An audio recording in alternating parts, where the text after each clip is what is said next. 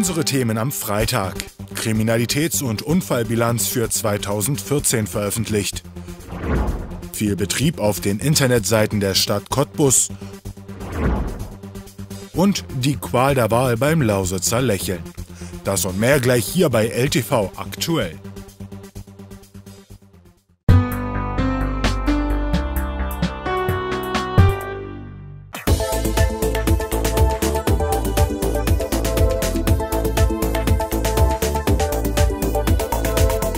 Der Zukunftstag für Mädchen und Jungen am 23. April in der Agentur für Arbeit Cottbus. Mit Informationen rund um Ausbildung und Studium bei der Agentur für Arbeit. Lernen oder studieren bei der Arbeitsagentur. Karrieremöglichkeiten werden praxisnah vorgestellt. Die Agentur für Arbeit Cottbus bietet Vorträge zur Berufsausbildung und zum dualen Studium, Gespräche mit Auszubildenden und Studierenden der Arbeitsagentur. Eine Führung für Ausbildungs- und Studieninteressierte durch das Haus mit einem Besuch im Service Center. Informationen zum Bewerbungsverfahren und Assessment Center und vieles mehr. Nutzen Sie die Chance am 23. April ab 8.30 Uhr. Weitere Informationen erhalten Sie bei der Agentur für Arbeit Cottbus, Bahnhofstraße 10 oder unter Telefon 0800 4 4 mal die 5 00. Das Team der Agentur für Arbeit freut sich auf Ihren Besuch.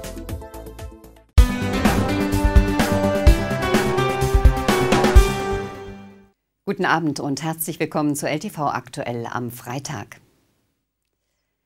Die Fotofilme sind voll, die Ordnungsstrafen verhängt und die meisten Blitzer wieder verschwunden.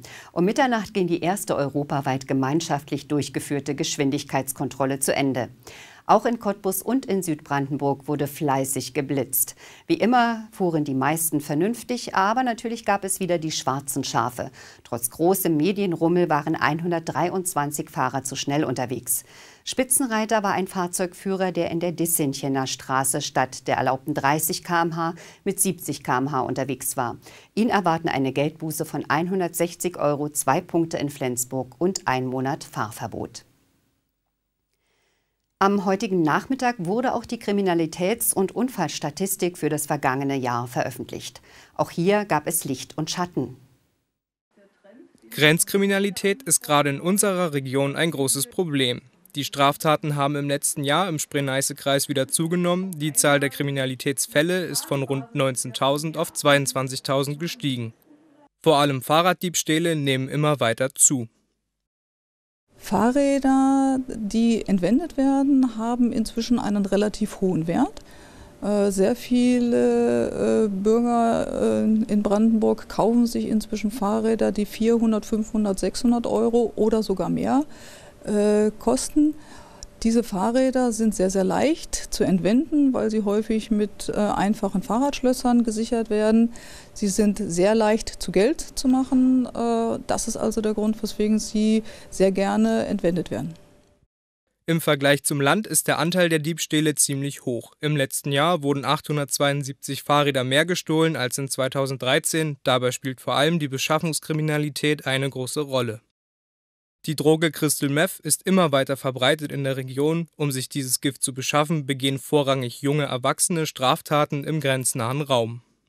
Das bedeutet, diese Personen äh, ja, leben davon, dass sie Straftaten begehen, um ihren Crystal Meth Konsum zu finanzieren.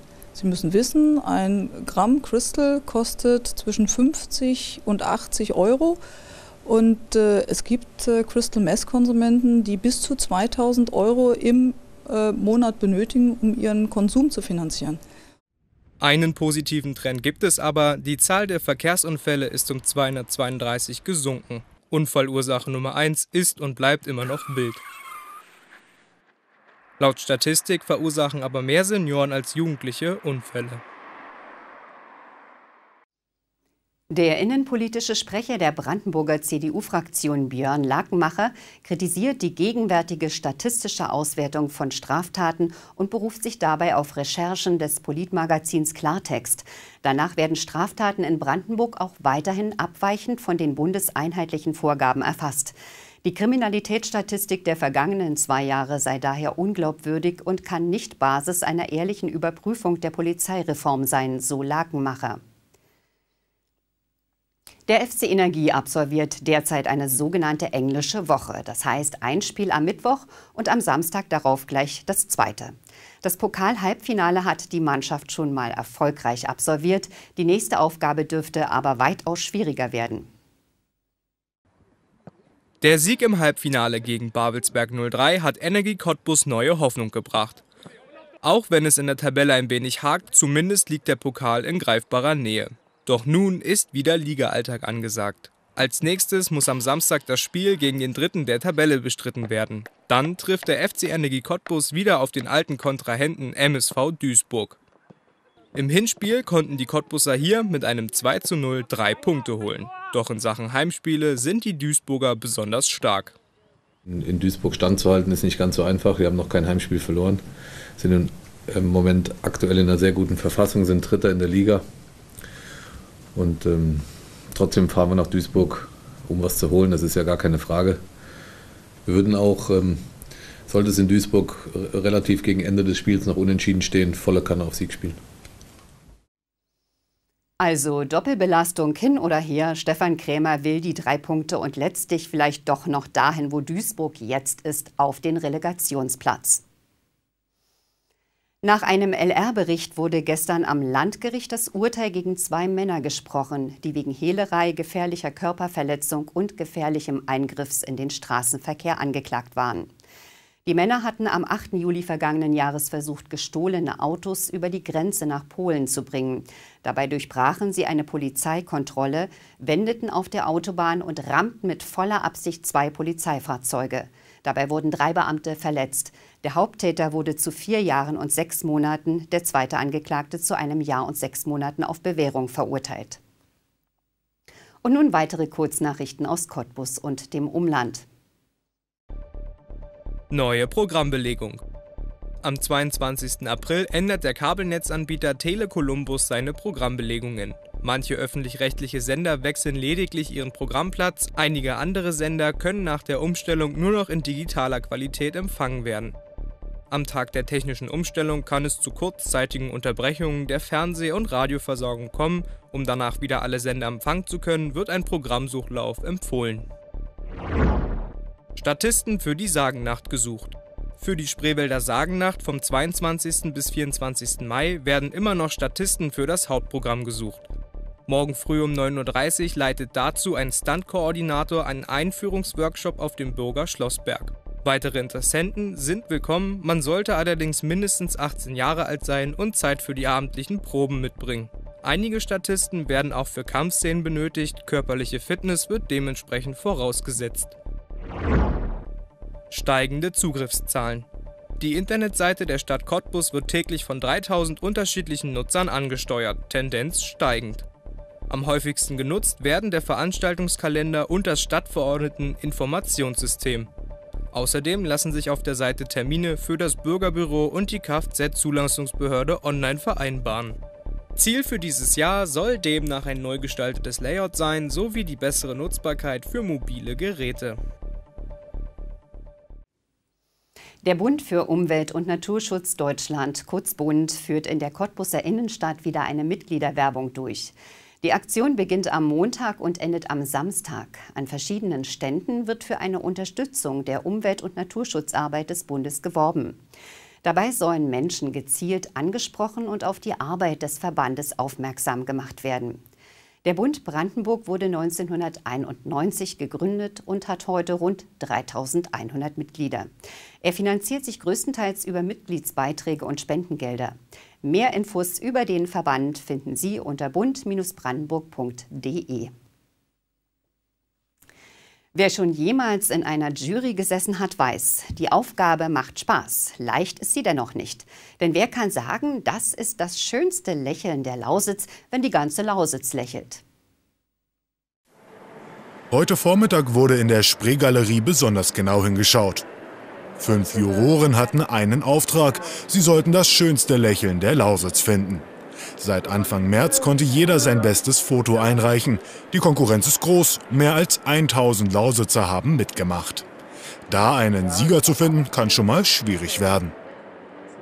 Also ich gucke ganz persönlich äh, so nach spontanen Schnappschüssen. Also ich finde ja eher so die spontanen Schnappschüsse, die so einfach aus einer Laune heraus sind, die haben dann doch was durchaus Authentisches, obwohl wie gesagt auch äh, ziemlich viele tolle Studiofotos dabei sind. Aber ich bin dann halt doch so ein Fan eher so Aktionen und so aus dem Moment heraus.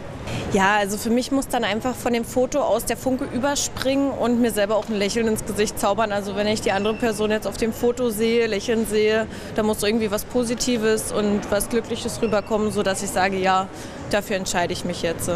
Also wir freuen uns erstmal, dass wir so ein schönes Thema hier haben im Frühling. Passt ja auch sowieso äh, nach Cottbus in die Spraygalerie. Wir haben das alles toll dekoriert und jetzt haben wir über 1000 Teilnehmer, die hier ähm, das Thema Lächeln äh, mitgestaltet haben. Und ich überlege mir immer, was steckt hinter diesen Menschen. Also kommt es so von innen heraus?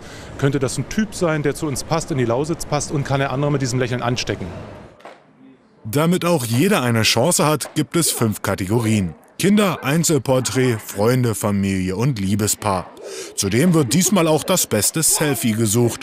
Aus jeder Kategorie sucht sich die Jury dann ihre drei Favoriten aus. Eigentlich ist es jedes Jahr gleich schwer. Es sind ganz interessante Leute. Jedes Mal macht man sich Gedanken dazu und ähm, hofft, dass dann der eigene Favorit nachher auch in die engere Wahl kommt.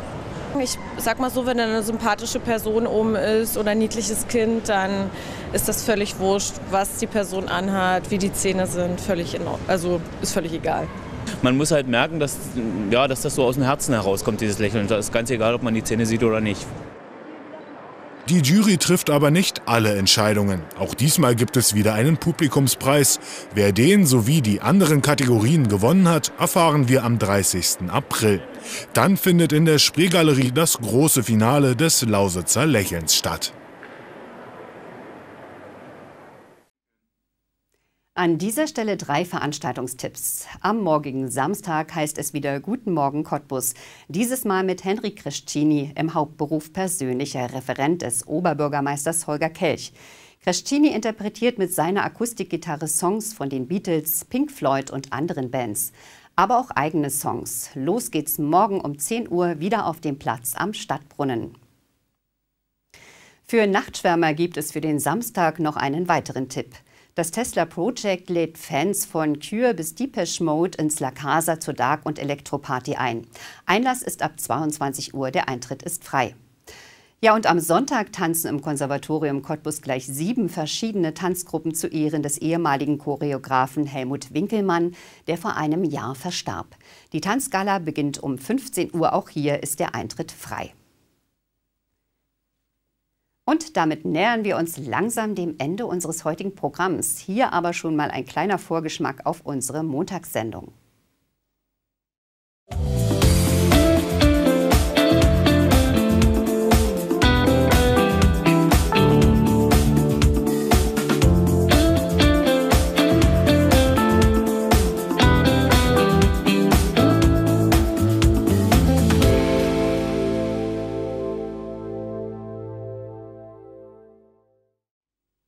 Ja, und wie es mit unserem ersten männlichen Kandidaten unserer Sendereihe Mein neues Ich weitergeht, das erfahren Sie, wie gesagt, am Montag. Ich wünsche Ihnen ein schönes Wochenende. Vielleicht genießen Sie ja bei einem Spaziergang die Natur und haben auch so eine interessante Begegnung mit Höckerschwänen wie unser Zuschauer Rudolf Fischer am Glinziger Teich. Man kann es eben nicht leugnen, es ist Frühling.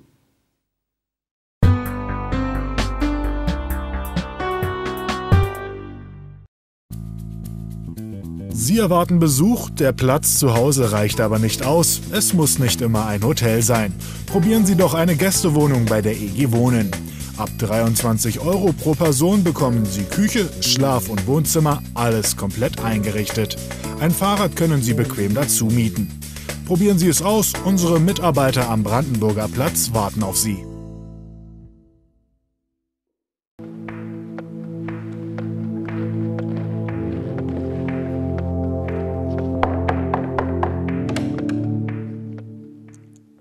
Schönen guten Tag. Wir kommen von Ihrem Kabelanbieter und Sie möchten hier mal rasch unterschreiben, sonst können Sie ab morgen leider kein Fernsehen mehr schauen. Ja. Halt! Unterschreiben Sie keine Verträge an der Haustür. Reden Sie vorher mit uns. Ihre Cottbusser Kabelgesellschaften.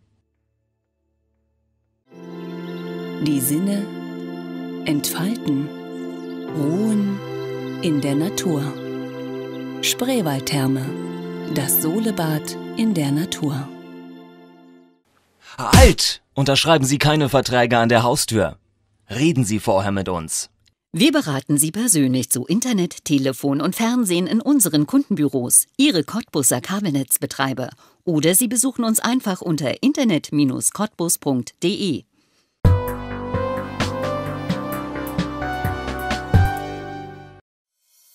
In der kommenden Nacht wechseln sich dichtere Wolkenfelder und lockere Bewölkung ab. Es bleibt meist trocken. Die Tiefstemperaturen liegen zwischen 2 und minus 1 Grad. Achtung, Bodenfrostgefahr.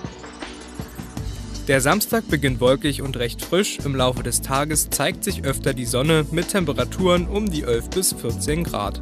Am Sonntag wird es erneut freundlich mit noch etwas mehr Sonne. Das Thermometer erreicht Werte zwischen 14 und 16 Grad.